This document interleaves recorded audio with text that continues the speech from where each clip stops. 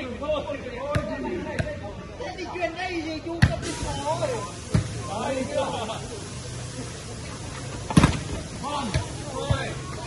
đấy không chuyện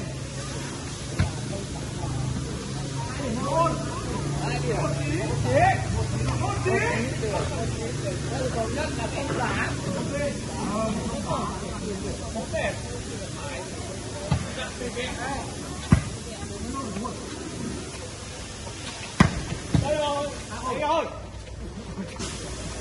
Mỹ ơi.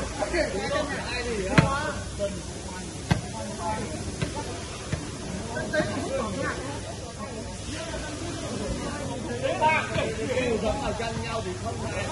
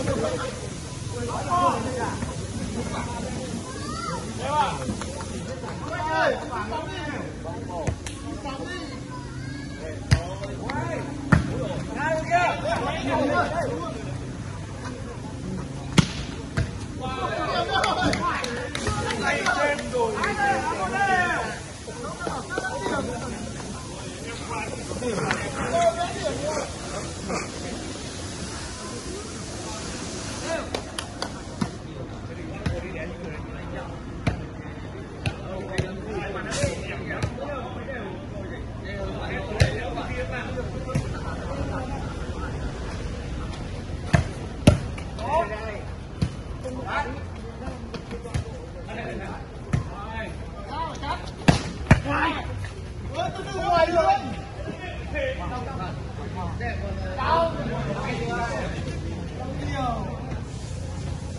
八、六、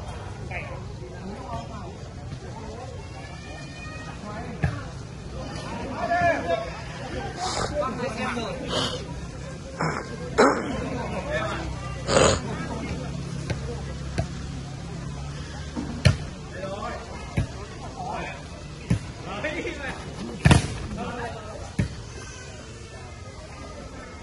Gracias.